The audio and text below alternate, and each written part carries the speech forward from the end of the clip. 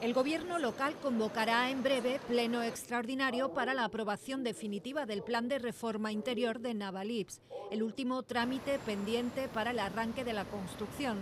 Así lo ha anunciado el alcalde Bruno García, quien ha vuelto a reiterar el apoyo total del ayuntamiento al proyecto de la zona franca. Vamos, seguro el Partido Popular va a votar a favor estoy convencido que el Partido Socialista y, bueno, nos queda la duda de la antiizquierda gaditana que en su día votó a favor del inicio en las mismas condiciones y, bueno, espero que también lo sigan haciendo.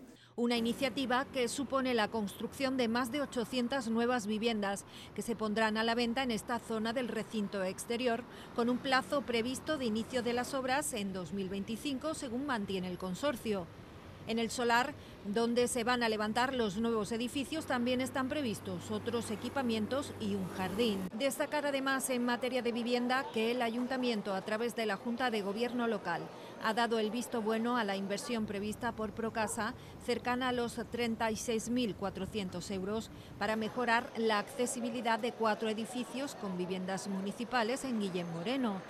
La intervención consistirá en la sustitución de los antiguos salvaescaleras por otros nuevos adecuados para admitir el peso necesario de las sillas de rueda a día de hoy. Los nuevos pueden sostener 250 kilos frente a la limitación de carga a los 150 kilos de los anteriores. Empezamos en la barriada Guillén Moreno, que tanto hace falta. Son cuatro edificios en los que se va a actuar, ¿de acuerdo? Eh, hay personas que se ven imposibilitados para bajar la calle. De hecho, tengo que decirle que hay personas que llevan mucho tiempo sin poder bajar a la calle.